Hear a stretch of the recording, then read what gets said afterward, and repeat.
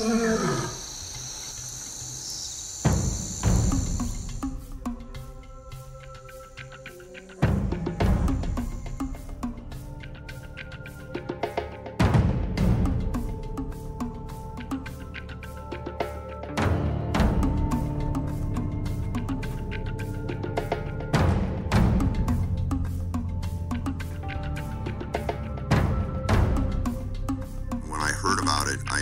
said, I have to do it.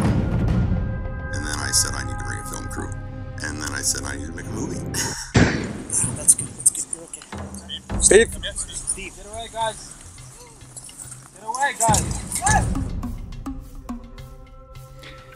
After 20 minutes of inching my way in the dirt, the rhino that we all called Trek looked me in the eyes I approached. Sitting just six feet away in the dirt, camera in hand, I took the shot. Alec Baldwin?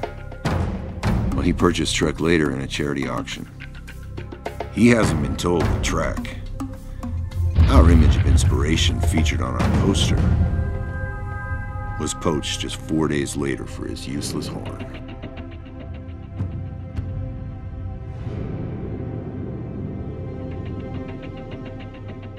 North Korean diplomats have been caught smuggling out the horn in their luggage because of their diplomatic status.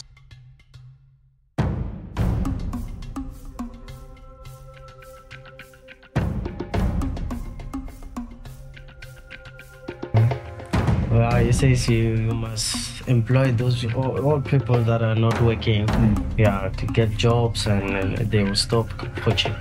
It's a matter of education. One thing is certain the situation for the rhinos is more dire now than it ever was, even 11 years ago. We're going back.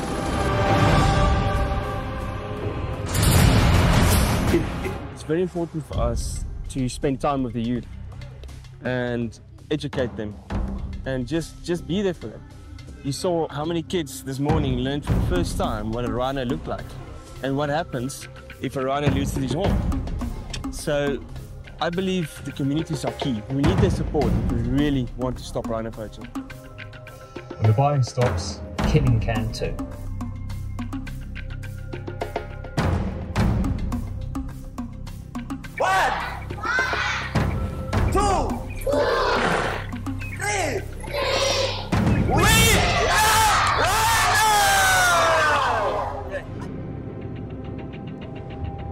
Steven, there's right and there's wrong, and there's no other way.